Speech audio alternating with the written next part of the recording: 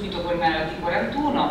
a fare la stessa manifestazione Promuovere attività ed eventi e migliorare e accrescere i servizi. È questo l'obiettivo della sinergia tra il Comitato Provinciale di Asi, la cooperativa sociale T41B e l'amministrazione comunale di Pesaro che aveva indetto una manifestazione di interesse per la gestione di 20 impianti sportivi. Ora le due realtà, grazie ad una coprogettazione, si occuperanno del campo scuola di Villa San Martino, delle palestre Carducci, Turati, Palatrè, Ledi, Maricelletta, più 14 piste polivalenti. Abbiamo costruito un'associazione temporanea di imprese, ha spiegato la presidente di Asi Francesca Petrini. Noi abbiamo un'esperienza pluriennale nell'ambito della gestione di impianti e della promozione sportiva, mentre la T41B ha competenze in ambito sociale e di manutenzione del verde, rendendo possibile l'inserimento lavorativo di diverse figure con qualche tipo di fragilità. Infatti, come ha dichiarato Michele Gianni, presidente della cooperativa, verranno attivati dei tirocini, ma anche i progetti di utilità collettiva destinati ai beneficiari del reddito di cittadinanza. Sull'attività sportiva dove noi come ASI diciamo, siamo più specializzati,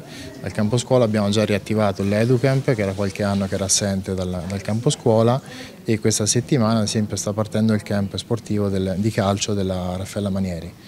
E sulle altre palestre in realtà ci sono già attività intendiamo portare avanti quello che eh, tutti gli anni veniva fatto, quindi lo stesso programma più o meno annuale delle varie società sportive fra basket piuttosto che ginnastica dolce o altre realtà verrà portato avanti. Quindi noi come ASI, dove magari ci sarà qualche eh, diciamo, buco negli orari, potremmo proporre qualcosa di nostro, però in realtà eh, il nostro lavoro sarà quello di portare avanti e gestire queste attività che già erano strutturate gli scorsi anni. L'Asia è una realtà che sta crescendo di anno in anno sia a livello locale che nazionale, offrendo affiliazioni e tesseramenti a tutte le società sportive, l'iscrizione al registro del CONI, consulenza e formazione. Quindi, come sottolineato dalla Presidente Petrini, può essere di supporto e di aiuto alle tante associazioni sportive che utilizzano i vari impianti. Di fatto ci sarà un occhio in più sulle piste polivalenti che sono i classici campietti di quartiere, quindi di fatto non vuol dire che quei campetti non potranno essere utilizzati dai cittadini ma potranno essere utilizzati con un occhio in più da parte diciamo,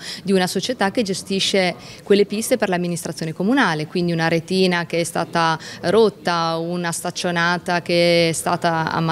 si è rotta, quindi ci sarà chi eh, provvede in autonomia alla sostituzione. Per quel che riguarda il campo scuola aumenteranno le attività che sono lì, aumenterà il presidio e la presenza delle persone che gestiranno e custodiranno custodiranno quello che diciamo è il patrimonio dell'amministrazione comunale, ma è il patrimonio di tutti. Stessa cosa per eh, gli impianti sportivi, nel caso specifico si parla di cinque palestre che avranno una gestione diretta da parte di questo soggetto.